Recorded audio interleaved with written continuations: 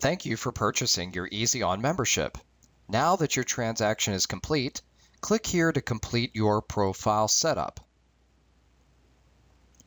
The online nutrition profile will ask a series of questions about you, such as your birth date, your height, your current weight, your body type,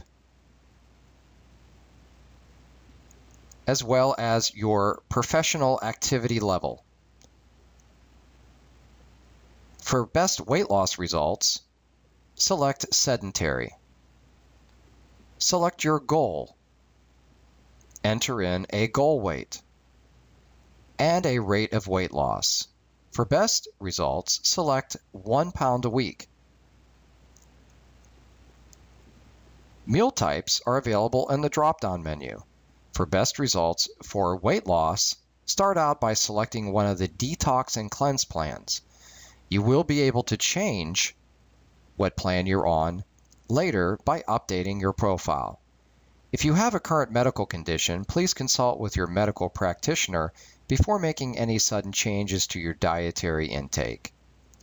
When you're done, click the Submit button. This will transfer you to your profile summary screen.